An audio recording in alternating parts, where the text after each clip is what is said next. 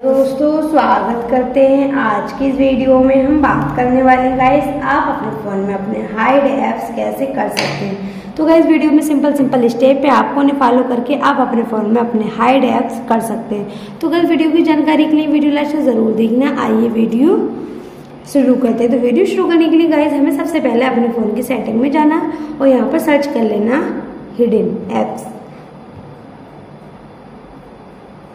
तो हमें hidden apps पे क्लिक कर देना है। क्लिक करने के बाद हमें सारे अपने एप्लीकेशन यहाँ पर देखने को मिल जाते हैं। तो गाइज़ आपको जिन जिन एप्लीकेशनों को अपना हाइड करना है तो आपको इन तरीके से, इस तरीके से इसे ऑन कर देना है। जैसे कि हमारा अमेजोन फेसबुक मौज तो गाइज़ हमने तीन अपने एप्लीकेशनों को हाइड किया तो गाइज़ इस तरीके से आप अपने फ़ोन में अपने ऐप्स हाइड कर सकते हैं। तो गाइज़ आपको जो ऐप्स हाइड किए हैं आपको यहाँ पर स्क्रीन पे देखने को नहीं मिलते हैं। अगर आपको नहीं यूज़ करना तो आप टू फिंगर से पिंच आउट करेंगे इस तरीके से और आपको यहाँ पर देखने को मिल जाते हैं। गाइज़ अगर अगर आपको यहाँ से चलाना तो आप ए, ए, ओ यहाँ से कोई सा भी ऐप और कर सकते हैं। तो इस तरीके से आप अपने फ़ोन में अपने हाइड ऐप्स कर सकते हैं। तो गाइज़ वीडियो पसंद आई हो तो शेयर करें लाइक करें चैनल पर नए हो तो चैनल को सब्सक्राइब